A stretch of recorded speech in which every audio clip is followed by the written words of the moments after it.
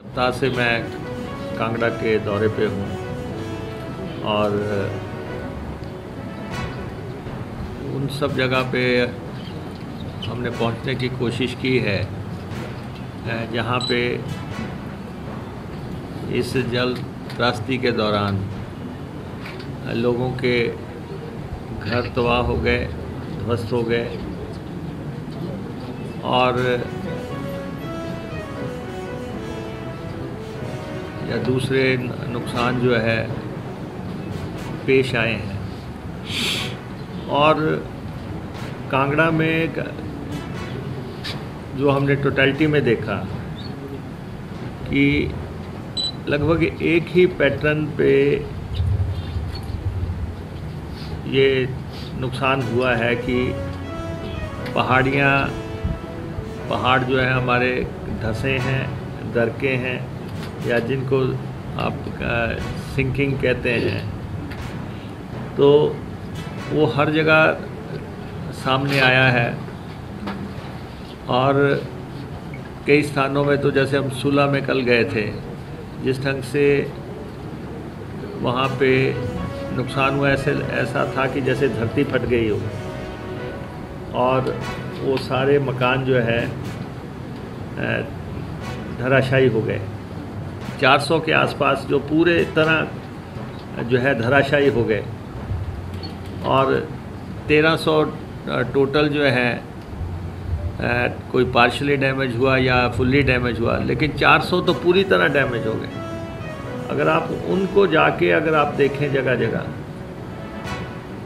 उनको देख के कि क्या इन, इसमें लोग बचे होंगे? क्या कोई इसमें बच सकता है? लेकिन कांगड़ा में टोटल कैजुअलिटी नौ हुई हैं। और इसको इस लेवल पे मिनिमाइज करने में ज़िला के लोगों का भी बहुत बड़ा हाथ है कि उन्होंने बहुत सहारा दिया एक दूसरे को। लगभग 400 लोगों की जानें चली गई हैं। बारह हज़ार करोड़ रुपए का नुकसान हुआ है। तो इस समय ये राजनीति का विषय नहीं है। मैं ये कह देना चाहता हूँ कि जित, ये कोरोना से भी भयानक मंजर जो है हिमाचल प्रदेश ने देखा है। जिस कोरोना की वो पूर्व सरकार बात करती रही है, इसमें तो बस्तियों की बस्तियाँ उजड़ गई, मोहल्ले के मोहल्ले उजड़ गए, नगर तबाह हो गए।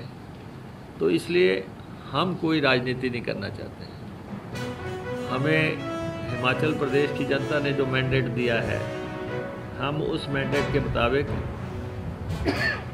हर आखिर उस व्यक्ति तक पहुँच बनाने का प्रयास कर रहे हैं, जो हमारा राजधर्म है, जिसके लिए लोगों ने हमें सत्ता में बिठाया है। और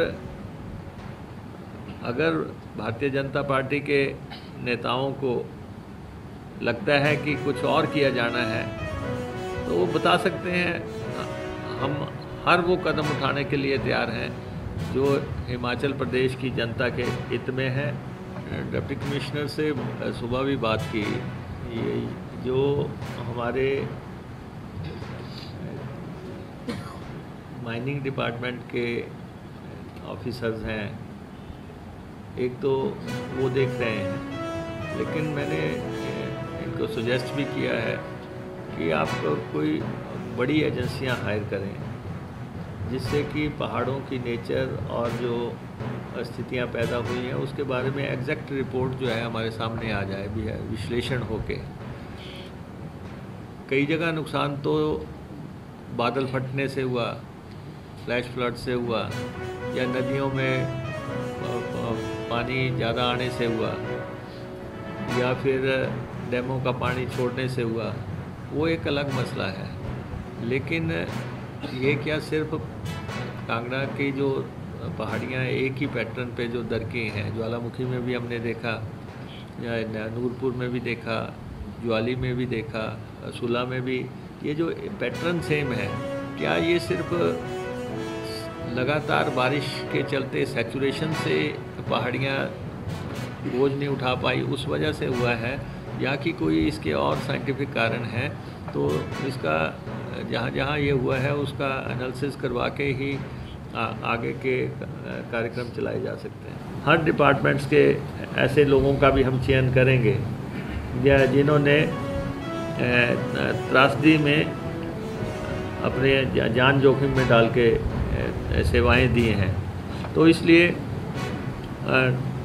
यहाँ पे जितना जान जानी नुकसान को मिनिमाइज़ किया जा सकता था वो कांगड़ा प्रशासन ने किया है। और एनडीआरएफ, एसडीआरएफ या दूसरे हवाई सेवाएँ जो भी इस्तेमाल करके किया जा सकता था वो आ, सारा किया गया है।